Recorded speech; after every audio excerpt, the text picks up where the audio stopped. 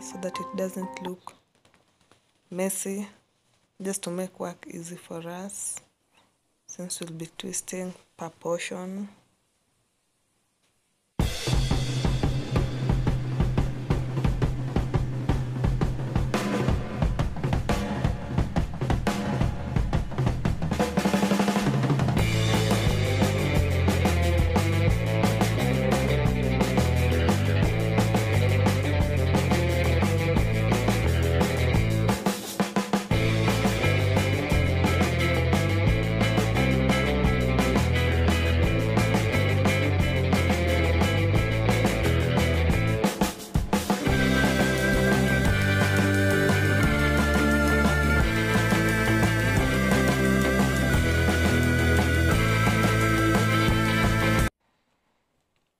so our, our hair is ready for twisting.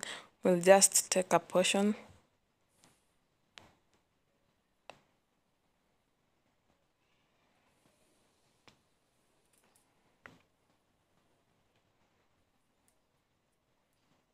we're going to use Eco Styler gel to lay to lay the roots but it's not compulsory it's not necessary.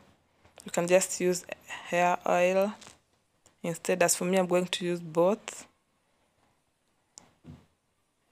Since my hair is 4C-type so the gel will help in laying the roots.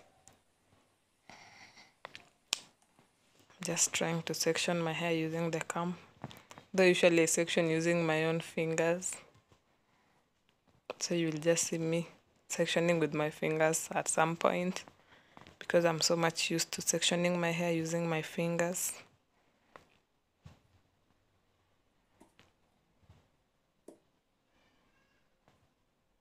I'm going to show you two styles of twisting your yarn twists.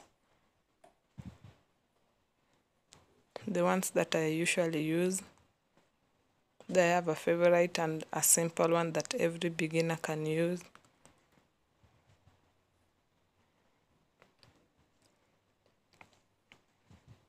So in this first one, we're just going to hold all the on one side of the yarn as you can see then twist it on that side. Then we start twisting it. I hope you can see. They have done it. This is easy to grip as it grips the root so well.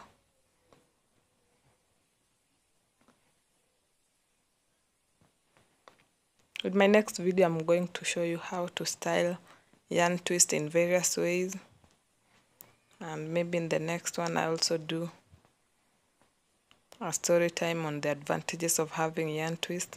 So if you are interested kindly smash the subscribe button so that you are notified once the videos are up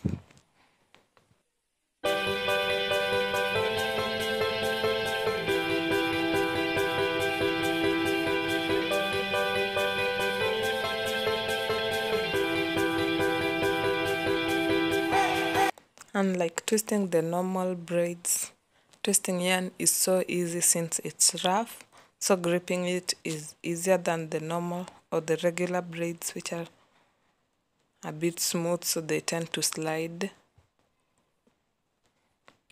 So if you're learning twisting for the first time, I recommend that you you start with yarn twist or you can use any kinky braid. I have a video on how to grip the roots of your hair while while twisting kinky braids. I'll just link it in this video so that you can check it.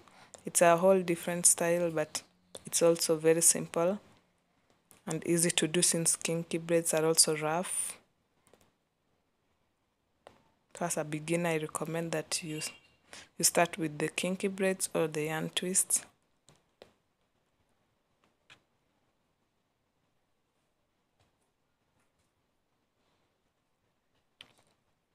As I said before, I find it really easy to partition my hair using my fingers since I can approximate the, the right size. And like when I'm using a comb, though I'm trying to adapt to using a comb,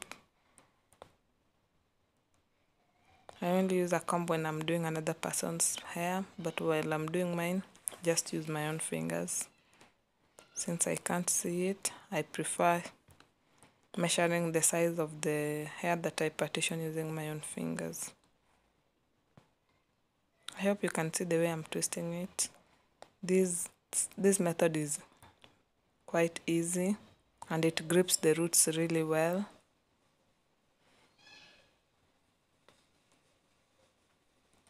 The advantage of using gel while twisting your 4C hair is because it prevents it from showing so much in, in your twist.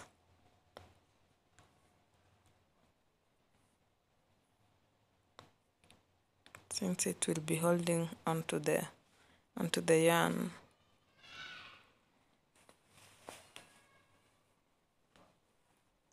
I'm going to use four packets of yarn twists, the big size. I'm just using the normal yarn. I'm not using the Brazilian wool.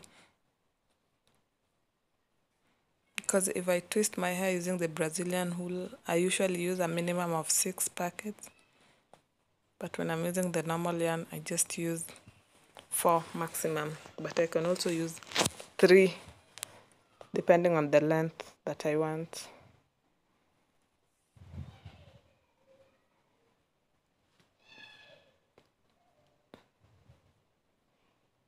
Remember not to hold the roots